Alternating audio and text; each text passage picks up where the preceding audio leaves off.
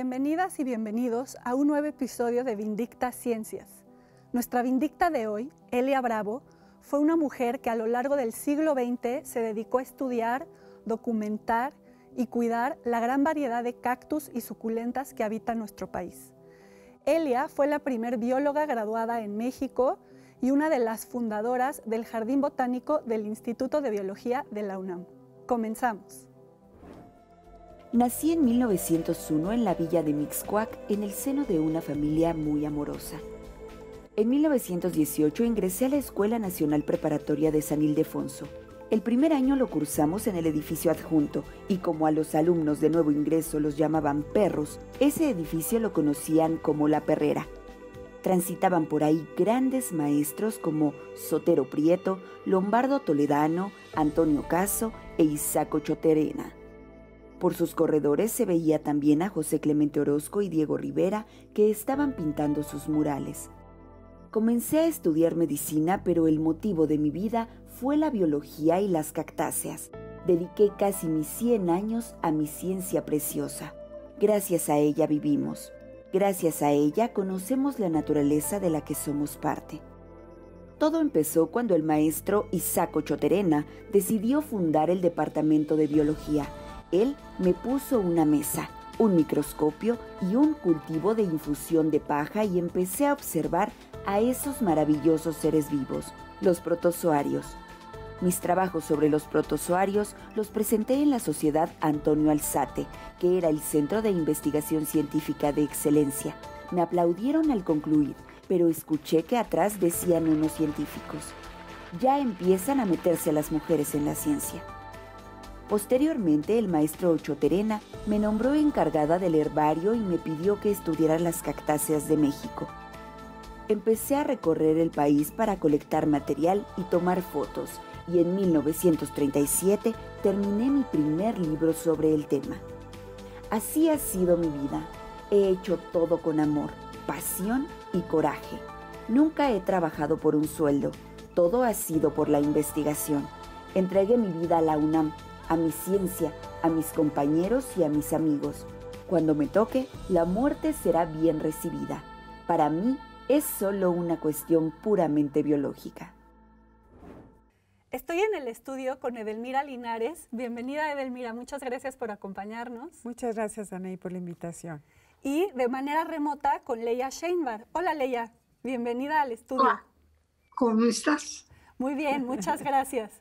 Pues estamos comenzando este programa y pues me gustaría comenzar, eh, de hecho, Leia, contigo contándome cómo es que conociste a Elia. Bueno, como sabe, yo originalmente era de Brasil, estudié la biología, historia natural en Brasil y trabajé en el Museo Nacional. En el Museo Nacional Aí na biblioteca, ou havia, porque o museu prendeu fogo o ano passado. E havia um livro de Elia Bravo, Las Cactáceas de México. Então, eu me familiarizei com este livro e passei a ser amiga da autora eh, virtual, ela em México e eu em Brasil. Por problemas políticos, mi esposo tuvo que se asilar en México cuando hubo un golpe militar y posteriormente yo volví a México con mis hijos. A través de amigos, llegué al Instituto de Biología de la UNAM y ahí conocí a la maestra Elia Bravo. Le pedí que fuera mi amiga e ela, muito carinhosa, accedeu e se prontificou a ser minha maestra. E eu comecei a estudar com ela desde o primeiro dia em que entrei ao Instituto de Biologia. Entonces, Entonces compartían la pasión de los cactus y de los nopales. Sim, e ela tinha essa paixão e eu também já la tinha e queria aproveitar minha estância em México, que foi muito duradeira. Já estou aqui mais de 50 anos y trabajando en la UNAM casi 50 años. Entonces, luego mi primera amiga querida fue la maestra Elia Bravo. Aquí tengo una foto de ella, muy linda, Ah, sí. Y aparte te tocó persona- una super maestra, fue, era la mejor maestra que podías tener en México sobre cactáceas. Y ya nos contaste tú cómo encontraste tú la pasión por las cactáceas, pero ¿sabes cómo es que Elia entró en contacto con, con esta área de estudio? ¿Qué fue lo que la llevó a estudiar cactáceas? Sí, ella, el primer director del Instituto de Biología fue el maestro Toquerena. Y él había publicado un pequeño libro sobre las cactáceas de México. Y eh, él le dio como tarea ampliar este libro y seguir estudiando las cactáceas. El primer trabajo que hizo la maestra Elia Bravo fue ampliar el libro de, del doctor Choterlena. Salió un tomo chamado Las Cactáceas de México, el mismo nombre del libro del doctor Ocho Terena. Y enseguida ella consideró que este livro deveria ser eh, e rehecho.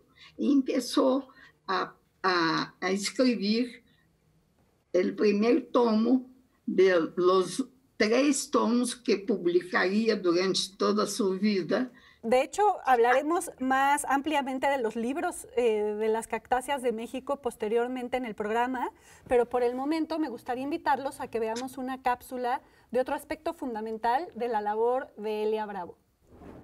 En medio del área de pedregales volcánicos, sobre los que se asienta Ciudad Universitaria, alejado de la dinámica urbana de la Ciudad de México, se encuentra el Jardín Botánico de la UNAM, oasis que desde 1959 nos regala conocimiento, deleite visual, tesoros naturales, además de una experiencia increíble al recorrerlo. El Jardín Botánico, el segundo más antiguo del país, es un conservatorio de la historia herbárea de México alberga 24.000 especies de plantas nativas, 300 de estas consideradas en algún nivel de riesgo de extinción. Cada planta es catalogada y vive en este hogar, recibiendo las condiciones específicas para su desarrollo y posible reproducción. Desde un principio, el objetivo fue mantener una colección de plantas vivas representativas de la diversidad vegetal de México, que sirviera de apoyo a la investigación y educación botánica.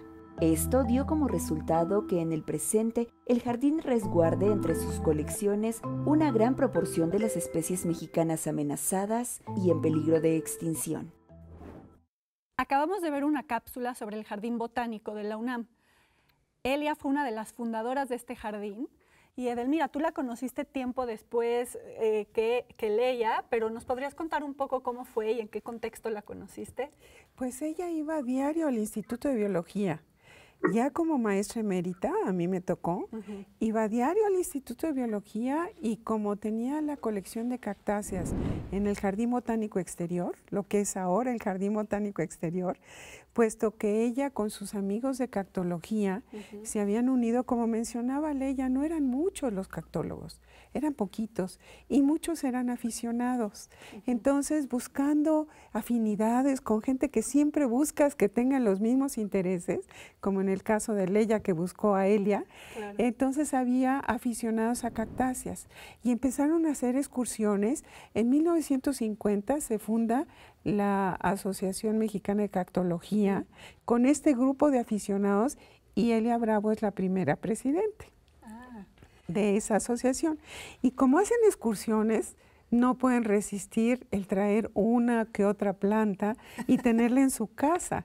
Pero posteriormente supongo que sus colecciones crecieron y ellos necesitaban un lugar donde cultivar estas cactáceas.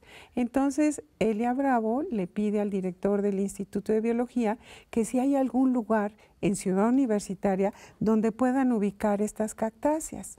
Y entonces ellos van, hacen un recorrido y escogen un lugar que ahora es el Jardín Botánico Exterior.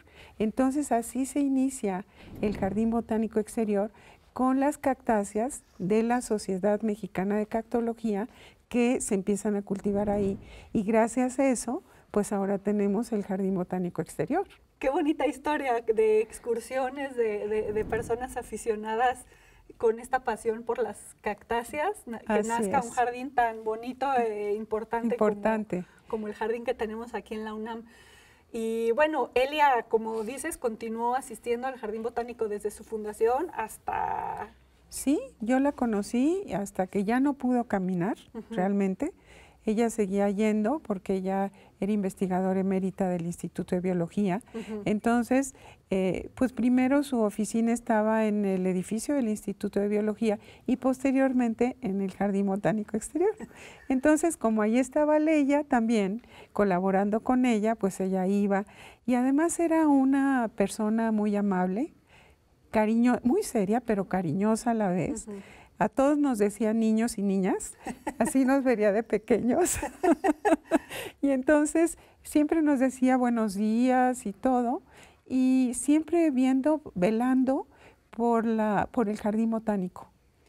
¿Y tú la conociste en, el, jardín, en, el jardín botánico? En el jardín botánico. Y bueno, eh, después cuando Robert Bay fue director, que es mi esposo, entonces ella nos invitaba a las fiestas, era una persona que hacía fiestas, le gustaba el mole, le gustaba tomar su copita, entonces eran unas fiestas muy bonitas. Y en esas fiestas conocías a cactólogos no solo de México, también de Estados Unidos y de otros lados, porque ella tenía mucha colaboración con cactólogos principalmente de los Estados Unidos. ¿Y cuál eh, pensarías tú que es la mayor contribución de Elia para el jardín botánico en específico? Pues primero el lugar, ella seleccionó el lugar y como que dijo este lugar lo aparto para un jardín botánico, entonces pues es realmente un aspecto muy importante el lugar donde ella pues, seleccionó. La primera colección, que fue la colección de cactáceas, que de alguna manera inaugura no oficialmente, pero inaugura esta sección del Jardín Botánico. Ella colaboró también con Faustino Miranda, que era un refugiado español que había llegado a México, conocedor, muy conocedor de la botánica y que eh, era investigador del Instituto de Biología. En el Instituto de Biología no había muchos botánicos. Entonces, entre todos, yo creo que decidieron que era tiempo de tener un jardín botánico.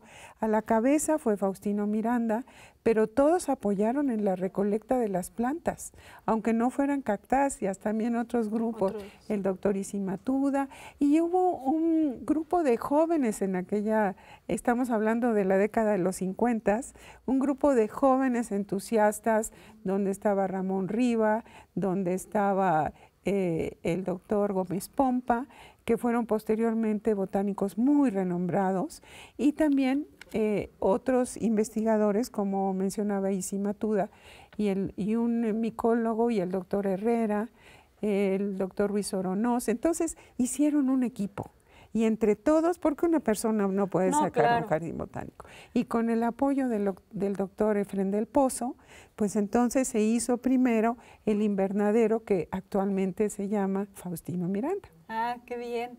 Bueno, pues es una labor impresionante también la de Elia en, en este proyecto tan, tan grande que es el Jardín Botánico. Y con esto nos vamos a una breve pausa, pero regresamos al estudio para continuar hablando sobre el mundo de los cactus y Elia Bravo.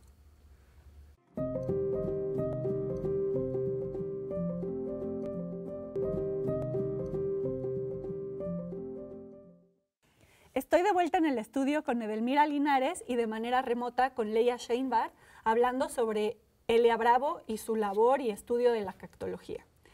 Bueno, pues Leia, ya nos comentaste un poco antes sobre los libros que escribió Elia, pero me gustaría que, nos contaras con más detalles sobre esta labor titánica que fueron los tres tomos de las cactáceas de México.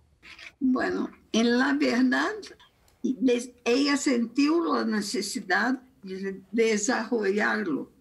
En México hay muchísimas cactáceas, principalmente nopales, opuntias y mamilarias, plantas globosas, chiquitas y plantas columnares. Então, ela começou a escrever el primer tomo sobre los nopales. Este es el libro del primer tomo. esta, esta es una fotografía de un dibujo de Helen O'Gorman, que também era uma cactóloga, dibujante, estudiosa das cactáceas e membro da Sociedade Mexicana de Cactologia, fundada por Elia Bravo. Este livro é a Bíblia que utilizamos para produzir o Atlas de los Nopales de México, que vai sair este ano por el Instituto de Biologia. Posteriormente, ella empezó a escribir el segundo y el tercer tomo, que aquí están. Este es el segundo tomo de las cartazes de México, con la colaboración de Hernando Sánchez Mejorada, que era miembro de la Sociedad Mexicana de Cartología y un líder en las excursiones, en colaboración con la maestra Elia Bravo. Y el tercer tomo, que es este. Todos con ilustraciones muy bonitas. Sí, eh, el segundo tomo es sobre las cactáceas columnares de México.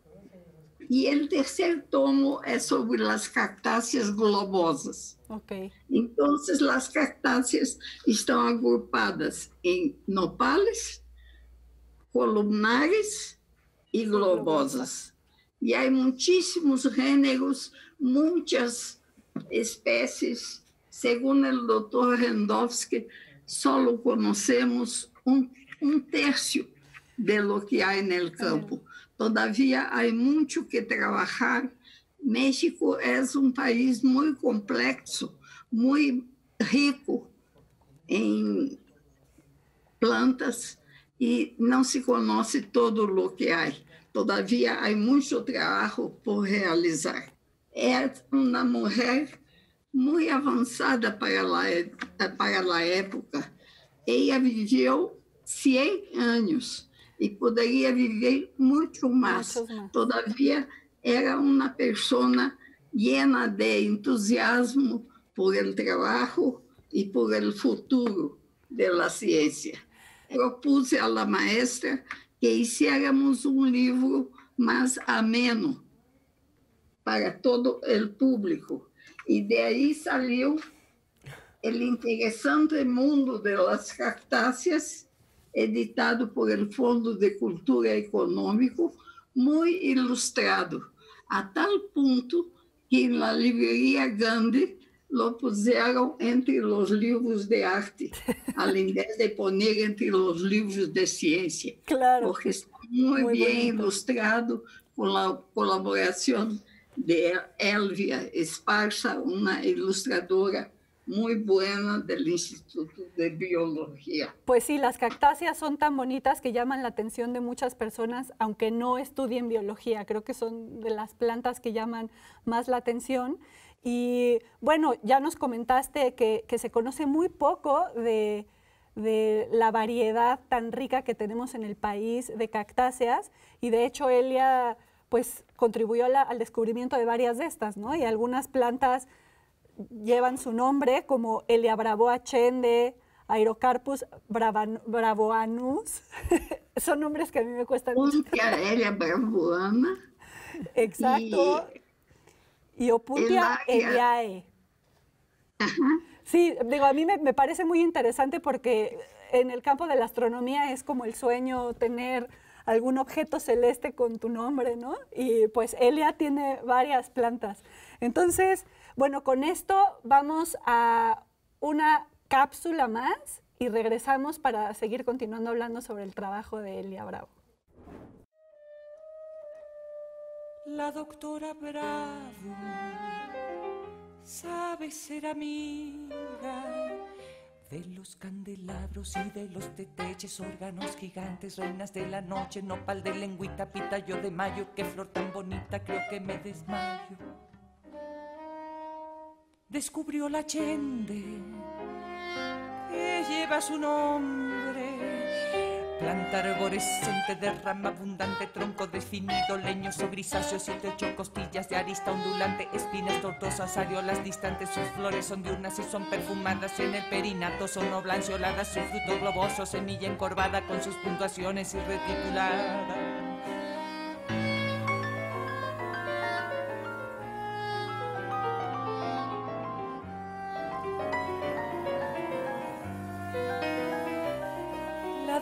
Bravo, Elia Bravo Allende, todas las cactáceas y las suculentas gozan de su amor. La reatridentada gobernadora que de los bellotes es la Elia Bravo fue pionera en muchos aspectos y uno de ellos es que fue la primera directora del Jardín Botánico de la UNAM. ¿Nos puedes contar un poco sobre esto, Edelmira? Bueno, el primer director hombre fue Faustino Miranda. Pero Faustino Miranda tuvo unas estancias en algunos herbarios eh, con becas Guggenheim. Entonces entró la doctora Elia Bravo, que yo creo que era eh, pues de su confianza para poderla eh, proponer que ella fuera la directora. Y en 1965 es la primer directora mujer del Jardín Botánico. Y pues se dice pronto, pero en esa época no era común que las mujeres fueran directoras. Entonces, solamente personalidades como la doctora Bravo. En este caso, no solamente era tan progresista, como mencionaba Leia, sino que también eh, eh, hay una carta que le escribe al rector donde le pide que compre 150 hectáreas en el estado de Veracruz, porque ella estaba pensando que un jardín botánico puede tener un ámbito plantas regionales, pero se necesitan diversos puntos en otras partes con otros climas para mantener y conservar el ecosistema de otros lugares. Y entonces fue pionera precisamente en eh, visualizar estaciones de campo que no estuvieran ya en las instalaciones del Jardín Botánico. Una visionaria total. Una visionaria y una mujer extraordinaria en el sentido de que eh, era tenaz. Entonces, aunque le dijeran que no, ella insistía y insistía hasta lograr lo que ella consideraba que era correcto. Entonces, pues le agradecemos mucho en el Jardín Botánico y el Instituto de Biología que gracias a su visión ahora contamos con dos grandes estaciones de campo y bueno, el Jardín Botánico se ha consolidado.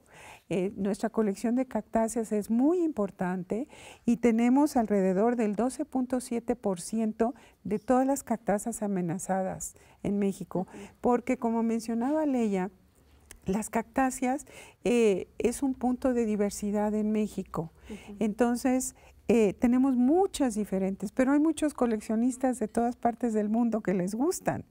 Entonces, realmente muchas de nuestras cactáceas y por cambio de hábitat también, que se vuelven campos de cultivo y se desmontan, etcétera, eh, hay muchas cactáceas que están en peligro de extinción. Y en el jardín nos hemos dedicado eh, precisamente a poder eh, rescatarlas, incluirlas en las colecciones y posteriormente propagarlas y contamos con una tienda que se llama Tigridia de los amigos del Jardín Botánico, donde se ofertan a precios módicos eh, hijos, semillitas de estas grandes cactáceas se cultivan para que la gente no tenga que irlas a extraer al campo. Las adoptan. Las adoptan y es el centro de adopción precisamente donde cactáceas y crasuláceas son las principales especies que se tienen en adopción. Ah, qué bien, pues todos vayamos al jardín botánico a adoptar una crasulácea. Y bueno, eh, Leia, eh, Elia no solo fue progresista en términos del jardín botánico, sino que para una mujer de su época fue progresista en muchos ámbitos y sobre todo en el ámbito científico. ¿Nos puedes contar un poco sobre esto? Sí, fue la primera bióloga.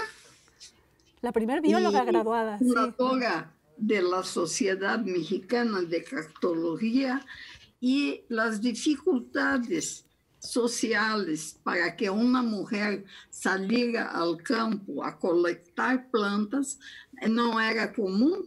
E aqui vemos uma foto em que se vê su traje Nessa época, as mulheres não usavam pantalones, então ela saía ao campo vestida como uma exploradora, com falda larga, mangas largas, de acordo com a época.